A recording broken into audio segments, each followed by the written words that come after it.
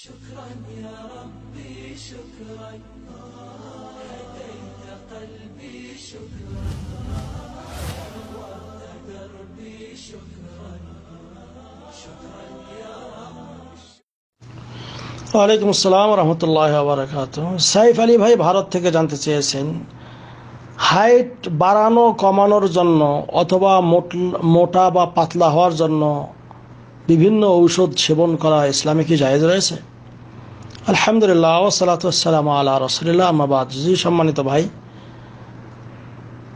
হাদিস শরীফ এসেছে, নবী করিম সাল্লাম তিনি বলেছেন তাদাবু তোমরা ঔষধ সেবন করো, তবে ওয়ালা তাদাউবিল হারাম, হারামের কোনো ঔষধ খাবে না। অর্থাৎ হারাম জিনিসের মাধ্যমে তোমরা চিকিৎসা করবে না। যখন কারও রোগ হবে, রোগের চিকিৎসা করা ইসলামী শরীয়তে জায়েজ। ওয়া ইজা মারিজ তুফা হুয়া ইয়াশফিন। আর চিকিৎসা করলেই যে ভালো হবে এমনটি নয়। তবে আল্লাহর কাছে চাইতে হবে, কারণ রোগ দাতাকে আল্লাহ আল্লাহ বলছেন ইজা মারিজ তুফা হুয়া ইয়াশফিন আমি যখন অসুস্থ হই, তখন সুস্থ করে কে? আল্লাহ। কাজে আল্লাহর কাছে এর সুস্থতা কামনা করবেন এবং পাশাপাশি আপনি বিভিন্ন ধরনের যে ঔষধ, যেগুলি হালাল গাছগাছরা বলেন আয়ুর্বেদিক ওষুধ বলেন, আর আপনার এলোপ্যাথিক ঔষধ, যেগুলি হালাল ঔষধ রয়েছে, সেগুলি দিয়ে আপনি চিকিৎসা করা ইসলামী শরীয়তে জায়েজ। আর এজন্য আল্লাহ রব্বুল আলমিনের কাছে আপনাকে প্রার্থনা জানাতে হবে।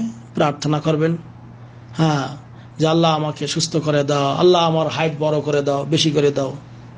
আল্লাহ আমার খুব মোটা হয়েছি, আল্লাহ তুমি চিকন করে দাও। আল্লাহ খুব চিকন রয়েছে, একটু গোস্ত দাও শরীরে। আল্লাহ আমাকে সুস্থ রাখো। সবচেয়ে বড় জিনিস যেটা, সেটা হলো কি? সুস্থতা কামনা করা। হ্যাঁ? যেমন আমরা এই দোয়াটা সালাতের মধ্যেও করে থাকি। দুই সিজদার মাঝখানে একটা দোয়া পড়ি। দোয়াটা কি? আল্লাহ মগফিরলি ওর হামনি ওয়াহদিনী ও আফিনি ওর জুকনি হ্যাঁ আল্লাহ আল্লাহ মগফিরলি আল্লাহ আমাকে মাফ করো। ওর হামনি রহমত করো। ওয়াহদিনী আমাকে হেদায়ত দান করো। হ্যাঁ? ওর জুকনি আমাকে রিজিক দান করো। ও আফিনি আল্লাহ আমাকে সুস্থতা দান করো। তো এই সুস্থতা চাইতে হবে আল্লাহর কাছে।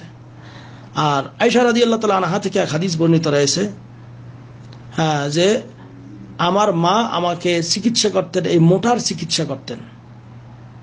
যে আমাকে রসুল্লাহ সাল্লাহ সাল্লামের কাছে প্রেরণ করতেন হ্যাঁ এবং আল্লাহ নবী সাল্লাম আমাকে কেসা মানে অর রুতাব মানে তাজা খেজুর এবং কেসা এইগুলি এক ধরনের এই যে লাউয়ের মতো এক ধরনের জিনিস।